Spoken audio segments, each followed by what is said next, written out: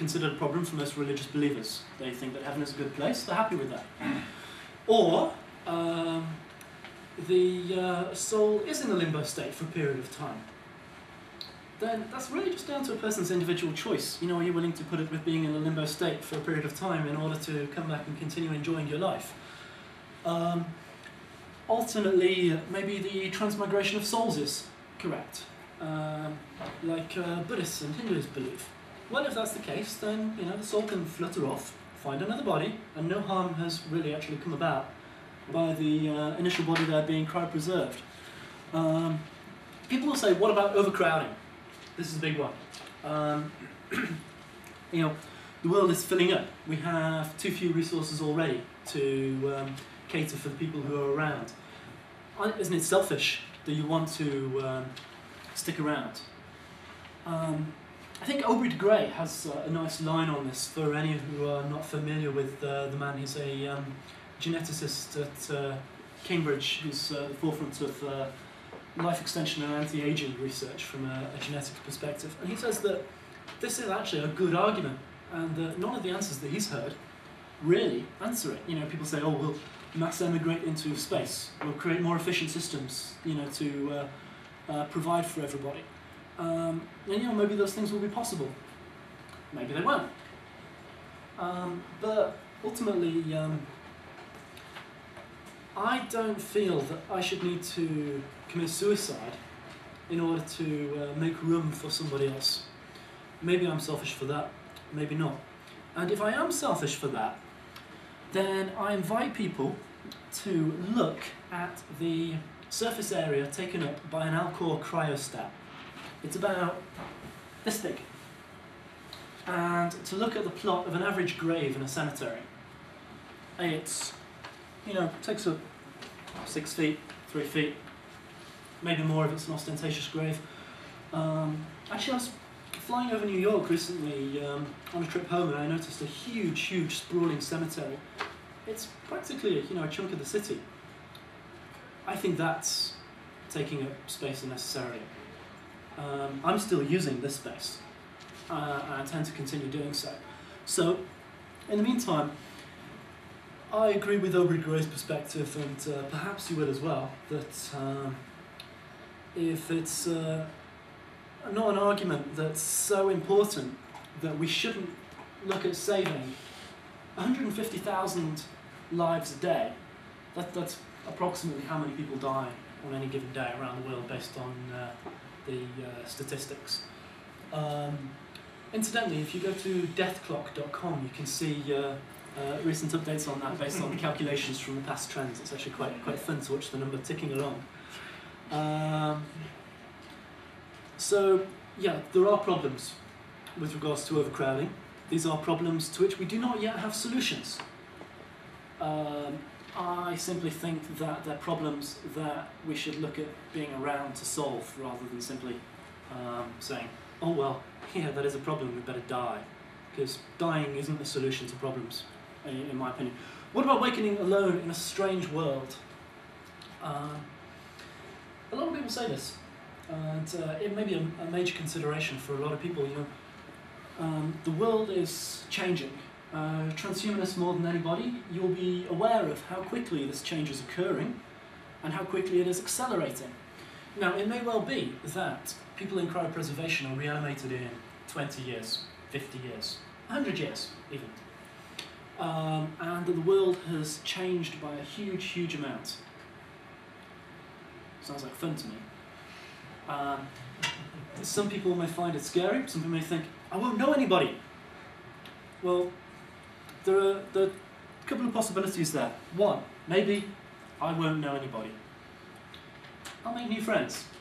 Uh, I'm not that bad uh, that I can't make can't make new friends. Um, or even if my social skills were really that poor, I would actually prefer a life by myself than no life at all. Um, alternately, um, all my nearest and dearest are actually cryonicists. Um, and the reason for this is um, more than coincidental. It's quite simply that people who are going to invest enough energy in themselves and those like themselves to live forever, that's actually a more meaningful long-term relationship. Um, and there are a few um, in the room here. These are people that I expect to know for a very, very long time. Um, you know, people will die around me. There are people I care about dearly um, who are going to die in a couple of decades. Frankly, because I work in health and social care, there are people that I care about dearly who will die in six months, a year, two years. I will be sad. I will miss them. I'm not going to be suicidal about it. Um, I think that the main thing about that problem with cryonics is uh, what about awakening alone in a strange world is really an issue of priorities. I think it's a problem. I don't think it's as big a problem as the overcrowding. Um, but it's not a problem that needs to be uh, the kind of problem you're going to commit suicide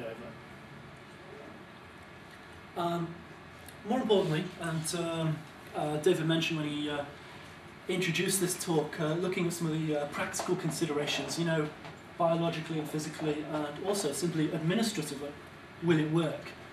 What about resource stability?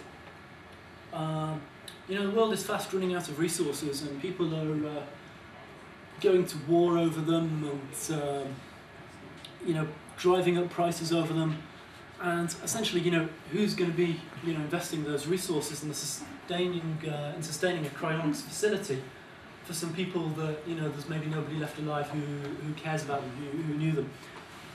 Um, there are a couple of major considerations with that. One, um, actually doesn't take that much resources to sustain a cryonics facility. Um, people uh, think about, uh, you know, power cuts. Oh, you know, you'll come out of deep freeze. Then, you know, if there's a power cut, it's, it's really, um, I may be preaching to the choir here when I mention the level that uh, technology is at, but it, it's not like a freezer in your kitchen. Um, it's going to take a lot longer to uh, heat up, and it's not going to happen because the cryonics facilities in Michigan and in Arizona, Arizona, who puts a cryonics facility in a desert? But um, it works. Um, they don't actually have um, any need for a constant supply of electricity to them um, or any other constant monitoring beyond an occasional top-up of um, liquid nitrogen. Uh, the reason that this is so is because um, within the cryostat, um, the uh, there's a person in the middle, liquid nitrogen, and then what is essentially a um, glorified thermos flask around the outside edge. Now, liquid nitrogen inside, it's got a very slight um, burn-off vents, so you have a nice little uh, trail of uh, the uh, gaseous nitrogen coming out. It takes a very long time to run down, and when it gets down to a certain level, they just top it up that's a, a physical batch process. It's not anything that can actually cut out unless they run out of liquid nitrogen. Um, there are a lot of resources that are um, at a great premium. You know, oil is running out. Now, I actually didn't take chemistry past um, the age of 16 in school, but nitrogen, I seem to recall, isn't actually at a premium. Um, there seems to be plenty of that about. Um, what about facility security? Um, now, I don't mean that in the sense of, um, you know, guards at the door, though that is actually, to one extent, a consideration and a, uh, one of the issues that cryonics does face that I actually hadn't included in this, um, probably because it slipped my mind when I was creating the slide, um, is there are um, some fundamentalist um, religious people who will blow up abortion clinics because they think that it's evil. Um, there are fundamentalist religious people who think that the idea of wanting to live forever is uh, blasphemous, is blasphemous, is hubris, and is a crime against God. So, you know, there is a potential threat there if um, those people were to uh, take the same kind of actions as the uh, fundamentalists who will uh, uh, blow up abortion clinics that is um, something where to date we've um, simply had a clean running. Um, it's an issue that people are aware of as a potential problem. It's not something that we have